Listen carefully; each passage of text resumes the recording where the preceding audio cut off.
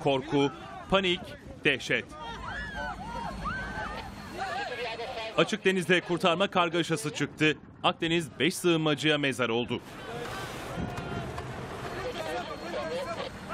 Libya'dan yola çıkan 140 kişilik sığınmacı grubunun botu kıyıdan 50 kilometre uzakta batmaya başladı.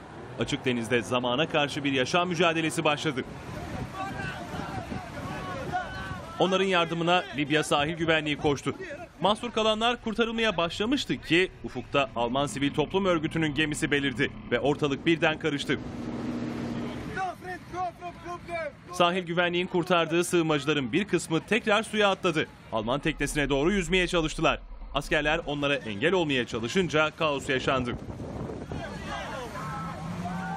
Libya Sahil Güvenliği ve Sivil Toplum Kuruluşu yetkilileri çıkan kargaşa için birbirini suçladı. Ama olan sığınmacılara oldu.